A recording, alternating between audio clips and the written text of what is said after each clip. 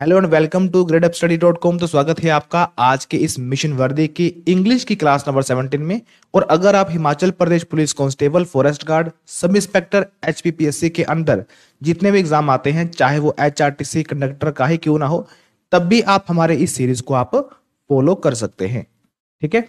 तो आज हम आपके साथ कुछ लेके आए हैं क्वेश्चंस जो कि हम आपके साथ डिस्कस करेंगे, ठीक है? और ये आपकी एक प्रैक्टिस क्लास होगी, जिसमें हम कंसेप्ट भी साथ साथ में देखते चलेंगे ताकि आपकी फाइनल सिलेक्शन हो जाए। क्लियर है? चलिए। तो पहला प्रश्न आपके सामने है। काफ़ी नॉर्मल से आपके जो है वो एग्ज़ाम में वर्ड्स पूछे जाते हैं, जिनका सिनोनिम आपने बताना होता है। तो select the most appropriate synonym तो पहला जो वर्ड है वो आपके सामने है विजिबल देखो विजिबल का मतलब होता है स्पष्ट, जिसे आप स्पष्ट रूप से देख सकते हैं। अगर हम बात करें सीक्रेट तो सीक्रेट नहीं होगा। सीक्रेट अगर हम, हमने कोई भी चीज़ रखी हुई है ना तो उसको हम देख ही नहीं सकते। हिडन अगर हम अपने स्मार्टफ़ोन में किसी भी फ़ाइल को हिडन कर दे तो कोई भी इंसान उसको नहीं देख सकता। तो ये तो इसके मतलब ऑपोजिट हो गए एंटोनिम हो गए। अगर हम बात करें वेग तो वेग का मतलब भी क्या होता है? अस्पष्ट, ठीक है? क्या होता है? अस्पष्ट तो ये भी इसका एक एंटोनियम है। लेकिन यहाँ पर जो अपेरेंट है अपेरेंट का मतलब भी क्या होता है? स्पष्ट होता है। क्या होता है? स्पष्ट होता है। तो option number B is the correct answer तो विजिबल का सिनोनियम यहाँ पर क्या बन जाएगा? तो ऑप्शन नंबर बी यानी कि अपेरेंट बन जाएगा। आगे बढ़ेंगे। तो select the most appropriate option to fill in the blank यहाँ पर आपको देखना है कि इन चारों में से कौन सा ऑप्शन सही होगा।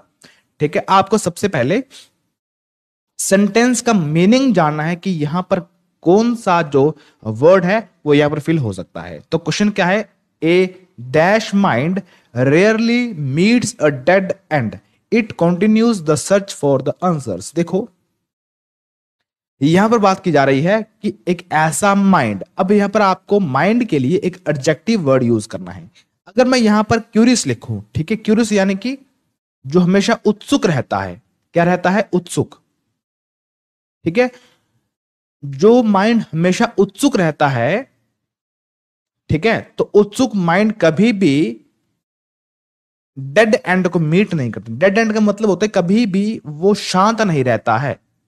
शांत नहीं रहता है, वो हमेशा अपने जो आंसर्स है, वो ढूंढता रहता है। वो हमेशा अपने आंसर जो है, वो ढूंढता रहता है नई नई चीज़ों को उसके अंदर जो है वो जानने की क्या होती है? उत्सुकता होती है। तो यहाँ पर ऑप्शन नंबर सी यानी कि curious is the correct answer ठीक है? तो option number C is the correct answer आगे बढ़ेंगे। नेक्स्ट आपके पास। यहाँ पर आपको एरर फाइंड आउट करना है। ठीक है? तो क्वेश्चन क्या है? She left hers umbrella of the office देखो, अगर आप हमारे इंग्लिश के कोर्स में है, ठीक है? अगर आप हमारे इंग्लिश के कोर्स में हो तो वहाँ पर मैंने आपको बताया था एक पोजेसिव एडजेक्टिव क्या बताया था? पोजेसिव एडजेक्टिव जो कि पोजेशन को बताता है। पोजेशन देखो पोजेशन में अगर हम बात करें हेयर्स की, ठीक है तो वहाँ पर हर वर्ड यूज़ होता है हेयर्स नहीं होता, ठीक है, वहाँ पर हर वर्ड यूज़ होता है तो यहाँ पर क्या होना था, हर होना था।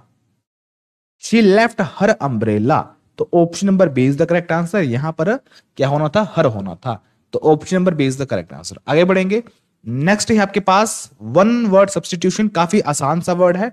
सॉरी काफ़ी आसान सा आपके पास सेंटेंस है। ठीक है? तो क्वेश्चन क्या है? A person who knows everything एक ऐसा इंसान जो कि सब कुछ जानता हो, सर्वज्ञानी।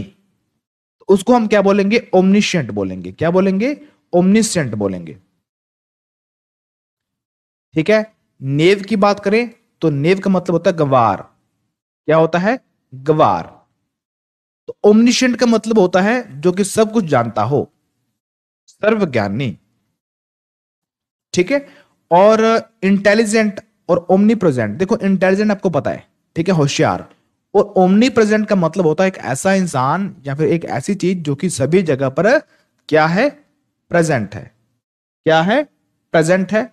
तो यहाँ पर बात की गई है कि a person who knows everything जो कि सब कुछ जानता हो तो उसको हम बोलेंगे ओमनिशेंट यानी कि option number B is the correct answer ठीक है, आगे बढ़ेंगे। नेक्स्ट है आपके पास the following sentence has been split into four segment आपको यहाँ पर ग्रामेटिकल एरर बताना है कि किस वाले पार्ट में एरर है। देखो, काफ़ी आसान सा एक सेंटेंस आपके सामने है, और अगर आपको नरेशन टॉपिक अच्छे से आता है तो ये जो आपके पास क्वेश्चन है ना ग्रामेटिकल एरर का, ये नरेशन टॉपिक से ही बना हुआ है। देखो नरेशन में आप दो टाइप के सेंटेंस पढ़ते थे डायरेक्ट टेंस और इनडायरेक्ट या फिर डायरेक्ट स्पीच और इनडायरेक्ट स्पीच डायरेक्ट में आपने एक चीज़ पढ़ी होगी सैड टू आपने सैड भी पढ़ी हुई है और सैड टू भी पढ़ी हुई है। और जब भी हम सैड टू को इनडायरेक्ट स्पीच में चेंज करते हैं तो हमेशा टोल्ड में चेंज हो जाता है। किसमें?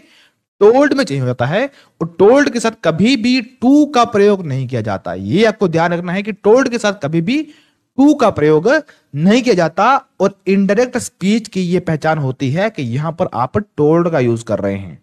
ठीक है? और टोल्ड का यूज़ करके आप जो अपनी जो आपकी स्पीच होती है, उसको हम अंदर इन्वर्टेड कोमा में नहीं लिखते हैं। यहाँ पर हम इन्वर्टेड कोमा में अपनी स्पीच को लिख सकते हैं। ठीक है? तो यहाँ पर देखो क्या लिखा हुआ है? Mohan told to Sagar that he was looking very pale तो ये आपके पास एक इनडायरेक्ट स्पीच है और पहली बात तो ये है कि इनडायरेक्ट स्पीच में टोल्ड के साथ कभी भी टू का प्रयोग नहीं किया जाता। तो यहाँ पर option number C is the correct answer होना था, क्योंकि यहाँ पर टू का प्रयोग नहीं होना था। ठीक है? तो इस कंसेप्ट को आपने ध्यान में रखना है। आगे बढ़ेंगे। नेक्स्ट आपके पास select the option that can be use as one word substitution बताएँगे। One who examines a company's financial records ठीक है? एक ऐसा इंसान, एक ऐसा पर्सन जो कि कंपनी के फाइनेंशियल रिकॉर्ड्स को एग्जामिन करता है। ठीक है? एग्जामिन करता है। तो कंडक्टर तो नहीं होगा भाई। ठीक है? ऑथर भी नहीं होगा, यहाँ पर लिखने का काम है ही नहीं, ठीक है? ऑडिटर का काम देखते हैं और इंस्ट्रक्टर का काम इंस्ट्रक्ट करना होता है तो ये भी नहीं होगा। तो auditor is the correct answer auditor मतलब जो कि लेखा जोखा रखता है, ठीक है? ऑडिटर मतलब जो ऑडिट करता है। ऑडिट मतलब देखता है कि कितना खर्चा हुआ है, कितना नहीं हुआ है, उसको एग्जामिन करता है कि जो पैसा हमने इन्वेस्ट किया क्या वो सही तरीके से इन्वेस्ट हुआ या फिर बीच में घपला हो गया? इस कारण से सेंटर और स्टेट गवर्नमेंट अपने अपने ऑडिटर भी बिठाती है और आपको पता है कि ऑडिटर की भर्ती भी होती है। होती है ना? चलिए तो यहाँ पर option number C is the correct answer आगे बढ़ेंगे। Select the most appropriate option to fill in the blank the doctor dash her to stop eating fried food जैसे कि मुझे अभी डॉक्टर ने बोला हुआ है कि तुम्हें फ्राइड फ्रूट नहीं खाने हैं, ठीक है? क्योंकि मुझे अभी काफ़ी दिनों से खांसी की दिक्कत थी, पहले कोरोना भी था, और अभी खांसी की दिक्कत है जो कि जा ही नहीं रही है। तो मुझे डॉक्टर ने एडवाइज किया है, ठीक है? मुझे डॉक्टर ने एडवाइज किया है कि कोई भी फ्राइड फ़ूड नहीं खाने हैं, ठीक है? और चावल भी नहीं खाने हैं, ठीक है? और कोई भी खट्टी चीज़ नहीं खानी है। तो ये मुझे डॉक्टर ने क्या किया है? एडवाइज किया है तो option number A is the correct answer अब कई बार क्या हो जाता है कि भाई वीडियो बनाते समय खांसी हो जाती है, ठीक है? तो इसीलिए लाइव मतलब लाइव करना तो पॉसिबल है नहीं, ठीक है? पहली बात तो ये है कि सिग्नल नहीं है यहाँ पे लाइव आने वाले, ठीक है? तो दूसरी बात ये है कि कॉन्टिन्यूसली बोलना तो वो भी पॉसिबल नहीं हो पाता है, अभी क्योंकि खांसी बड़ी ज़बरदस्त लगी हुई है। तो यहाँ पर द डॉक्टर एडवाइज होगा, ठीक है? तो option number A is the correct answer आगे बढ़ेंगे। नेक्स्ट है आपके पास select the most appropriate option अच्छा जी, यहाँ पर आपको इस जगह पर और क्या आ सकता है? ठीक है, या फिर इस जगह पे क्या आना था? तो वो आपने बताना है, ठीक है? तो क्वेश्चन क्या है? You need to get the cholesterol from out of your system यहाँ पर गड़बड़ी मुझे लग रही है फ्रॉम और आउट में। देखो, अगर हमने कोलेस्ट्रोल को अपने सिस्टम से बाहर निकालना है तो मुझे लगता है कि यहाँ पर फ्रोम की ज़रूरत नहीं है। यहाँ पर फ्रोम की हमें नीड बिल्कुल नहीं है तो यहाँ पर हम आउट ऑफ़ योर सिस्टम का ही यूज़ करेंगे। यहाँ पर हम फ्रोम को हटा देंगे तो option number A is the correct answer यहाँ पर हम फ्रोम को नहीं लिखेंगे तो क्या लिखेंगे simple out of your system यानी कि option number A is the correct answer ठीक है? क्योंकि यहाँ पर हमें फ्रोम लगाने की ज़रूरत नहीं है। हमें क्या करना है? हमें अपने अंदर, जो शरीर के अंदर, जो कोलेस्ट्रोल है, उसको बाहर निकालना है। तो cholesterol out of your system cholesterol from out of your system तो फ्रोम यहाँ पर सही नहीं लग रहा है तो option number A is the correct answer ठीक है? चलिए, आगे बढ़ेंगे। नेक्स्ट है आपके पास select the most appropriate option to fill in the blank तो क्वेश्चन क्या है? A dialogue is a dash between two or more people ठीक है? तो जो डायलॉग होता है, वो क्या होता है? कन्वर्जेशन होती है कमीशन होती है कन्वर्टिबल होता है, या फिर कन्वर्जन होती है। देखो डायलॉग एक कन्वर्जेशन होती है between two or more people ठीक है? अगर मैं आपसे बात कर रहा हूँ तो आप एक सिंगल इंसान भी हो सकते हैं और आप सिंगल या फिर दो या फिर दो से अधिक इंसान भी हो सकते हैं तो उसको हम बोलते हैं डायलॉग तो डायलॉग क्या है? एक कन्वर्सेशन है between two or more people तो option number A is the correct answer देखो, काफ़ी आसान प्रश्न है, लेकिन यह है कि अगर कोई इंसान सिंपल या फिर नॉर्मल लेवल की अंडरस्टैंडिंग रहता है इंग्लिश की तो वह एग्ज़ाम को बड़े अच्छे तरीके से टैकल कर सकता है। बेसिकली वो इंग्लिश को अच्छे तरीके से टैकल कर सकता है। ठीक है? तो इसका आपने ध्यान देना है। देखो, सबसे पहली बात मैं आपको फिर से बता रहा हूँ कि आपको हमेशा ध्यान रखना है कि अगर एग्जामिनर आपके क्वेश्चन पेपर में इंग्लिश डाल रहा है तो उसका, इसके पीछे का थिंकिंग क्या है? थिंकिंग क्या है? ठीक है? अगर उसकी थिंकिंग ये है कि मैंने ये चेक करना है कि आगे जो बैठा हुआ इंसान, क्या वो इंग्लिश की बेसिक नॉलेज रखता है? ठीक है तो आपको भी उसी तरीके से प्रिपरेशन करनी है, चाहे वो इंग्लिश हो, चाहे वो हिंदी ही क्यों ना हो। ठीक है? और अगर आप टीचर्स यानी कि टीजीटी कमीशन वगैरह जेबीटी कमीशन की तैयारी कर रहे हैं तो वहाँ पर एग्जामिनर की थिंकिंग ये होती है कि मुझे ये चेक करनी है कि इसकी हिंदी या फिर इंग्लिश में पकड़ कितनी है? क्योंकि आगे जाके उसने वही सब्जेक्ट पढ़ाना होता है। ठीक है? तो हमेशा आपको यह ध्यान रखना है कि आपके एग्ज़ाम में इंग्लिश या फिर हिंदी का या फिर उस सब्जेक्ट का रोल क्या है। तो उसके अकॉर्डिंग आपको तैयारी करनी है। इतना डीप में भी नहीं जाना है। ठीक है? तो ऐसे सिंपल सिंपल से आपको नॉलेज होनी चाहिए। ठीक है? अगर इतनी नॉलेज भी अगर आपके अंदर है तो एग्ज़ाम आप क्रैक कर सकते हो बड़ी आसानी से, ठीक है? आगे बढ़ेंगे तो option number A is the correct answer आगे देखिए select the incorrectly spelled word अब यहाँ पर आपको बताना है कि कौन सी स्पेलिंग गलत लिखी हुई है, ठीक है? तो अगर आपको पता होगा कि एनिवर्सरी में डबल एन आता है, याद है या फिर नहीं है? कई बार क्या होता है कि इतने सिंपल से वर्ड्स होते हैं जो कि हम डेली लाइफ में यूज़ करते हैं, लेकिन एग्जामिनर उसको डाल देता है क्वेश्चन पेपर में और वहाँ पर हम फंस जाते हैं। ठीक है? तो इसी चीज़ को हम बोलते हैं सिंपल नॉलेज आपको होनी चाहिए। तो एनिवर्सरी की स्पेलिंग क्या है? ए डबल एन होगा, बाकी सेम है। ठीक है? तो option number A is the correct answer आगे बढ़ेंगे select the most appropriate meaning of the given idiom तो एडियम क्या है? सिंपल सा एडियम है to breathe one's last simple सा है। ठीक है? यहीं से क्लियर हो रहा है कि अंतिम सांस की बात की जा रही है और अगर कोई इंसान अंतिम सांस ले रहा है, इसका मतलब कि वो अभी जाने वाला है, यानी कि to die option number four is the correct answer ठीक है? चलिए, आगे बढ़ेंगे। नेक्स्ट है आपके पास select the incorrectly spelt word अब यहाँ पर देखो, सभी के सभी जो वर्ड आपके सामने लिखे हुए हैं, वो काफ़ी आसान है डेली यूज़ वाले हैं। ठीक है? लेकिन पहचानना आपको है कि कौन सी स्पेलिंग गलत लिखी हुई है। ठीक है? तो डिलीवरी स्टेशनरी डिक्शनरी वॉलेंट्री देखो, यहाँ पर अगर हम बात करें डिक्शनरी की तो D I C T I O N A R Y होगा। यहाँ पर गड़बड़ी क्या है? ई आर वाई लिखा हुआ है। तो यहाँ पर ई e आपने रिप्लेस करना है किसके साथ में? ए के साथ में। तो option number C is the correct answer कितना नॉर्मल सा ये वर्ड लिखा हुआ था। आगे बढ़ेंगे। चलिए नेक्स्ट है आपके पास। The following sentence has been split into four segment हाँ आपको यहाँ पर भी ग्रामेटिकल एरर बताना है।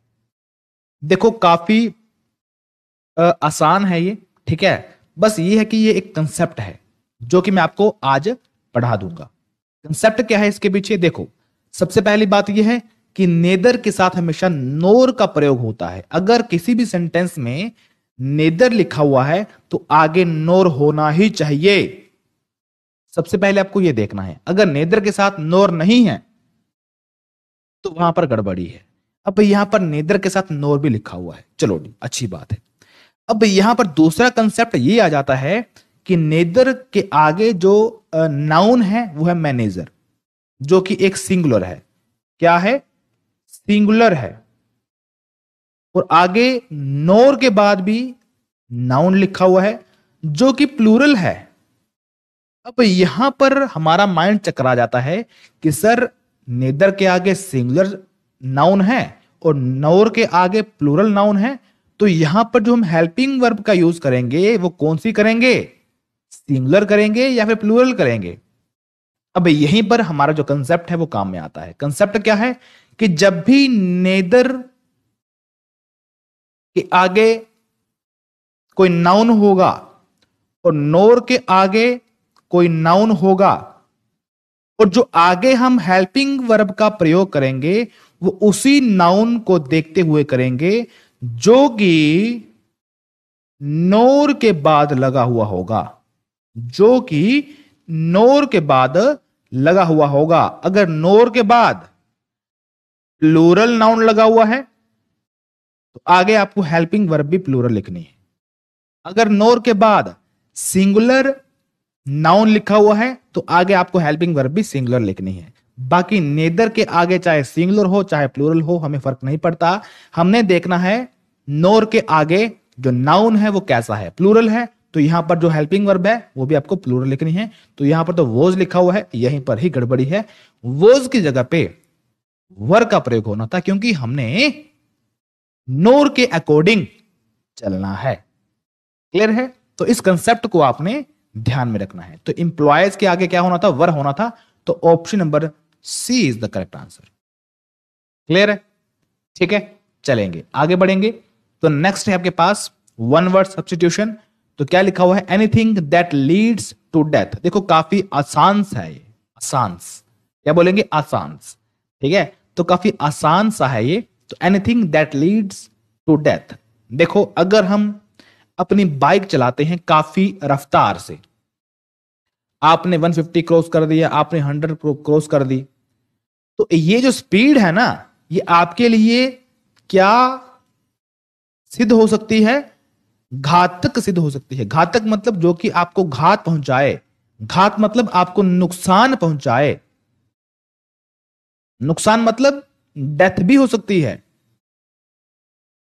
ठीक है? तो ऐसी चीज़ जो कि लीड करती है आपको घात करने में, नुकसान करने में, यानी कि ऊपर पहुँचाने में तो उसको हम क्या बोलेंगे? Fatal F A T A L इस चीज़ को हम बोलेंगे फेटल और इसका अर्थ क्या होता है? घातक होता है। अगर कोई चीज़ हमारे लिए घातक है, ठीक है, घातक मतलब वो हमें नुकसान पहुंचाएगी, यानी कि डेथ तक भी पहुँचा सकती है। क्लियर है? तो option number C is the correct answer आगे बढ़ेंगे। नेक्स्ट है आपके पास। Select the most appropriate antonym तो एंटोनियम आपको बताना है विटल विटल का मतलब क्या होता है? देखो विटल एक वर्ड ऐसा है। काफ़ी कम बच्चों ने सुना होगा। तो विटल का मतलब होता है अत्यधिक। अत्यधिक नहीं बोलेंगे। हम बोलेंगे मतलब अति आवश्यक। क्या बोलेंगे? अति आवश्यक।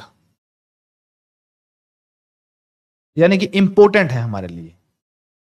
ठीक है सिंपल मान के चलो इंपोर्टेंट विटल और इंपोर्टेंट एक ही बात है।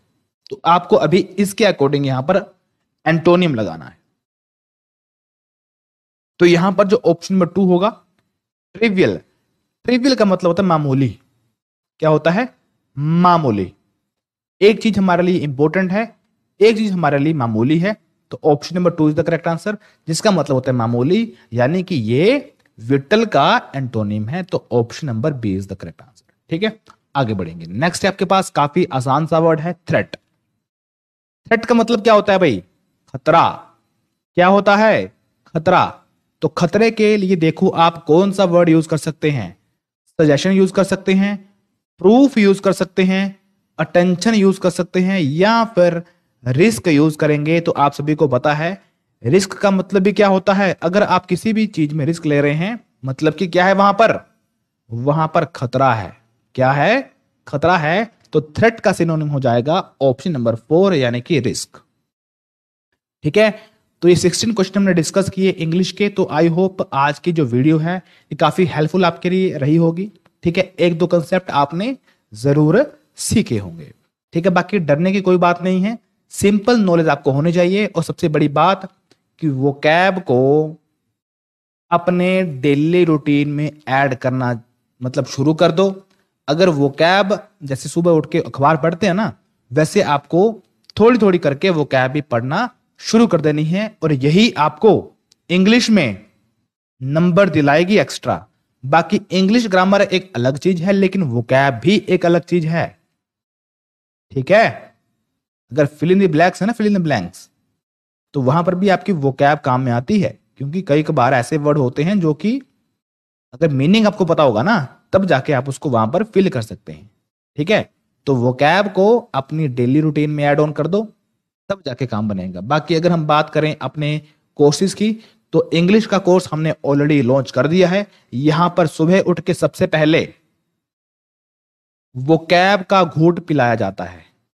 वो कैब का घूट पिलाया जाता है हर रोज सुबह आठ बजे सॉरी सात बजे। ठीक है? ये चीज़ है इसमें खासियत। बाकी यहाँ पर इंग्लिश ग्रामर हमने ऑलरेडी खत्म कर दी है, जहाँ पर आपको रिकॉर्डिंग क्लासेस मिलेंगी।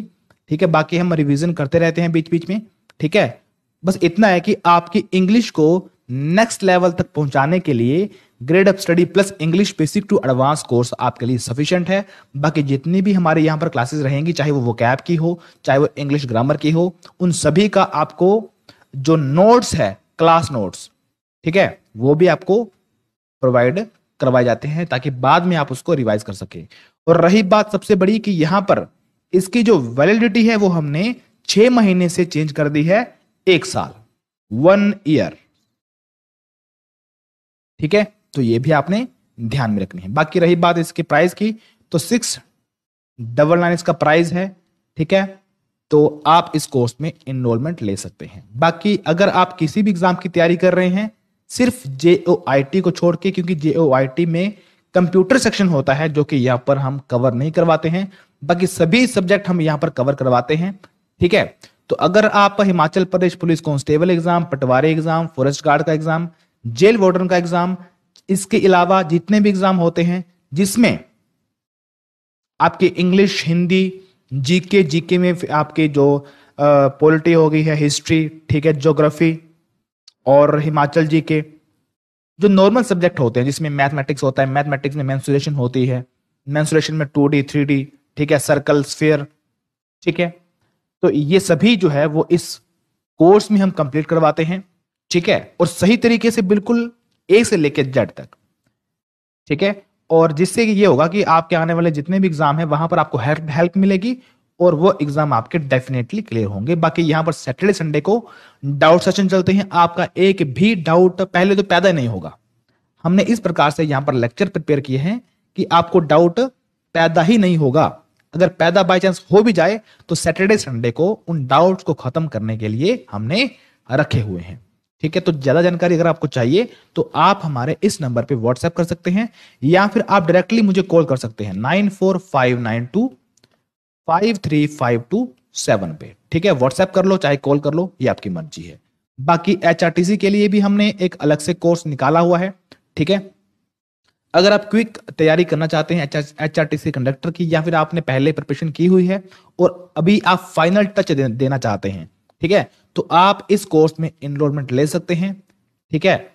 सारे सब्जेक्ट इसमें हमने ऑलरेडी कवर कर दिए हैं, और अगर आपने पहले तैयारी कर ली है या फिर करना चाहते हैं तो आपके पास दो महीने का समय है, आप इसमें अच्छे तरीके से प्रिपरेशन कर सकते हैं, ठीक है? चलिए, मिलेंगे फिर नेक्स्ट वीडियो में, तब तक के लिए जय हिंद, जय हिमाचल।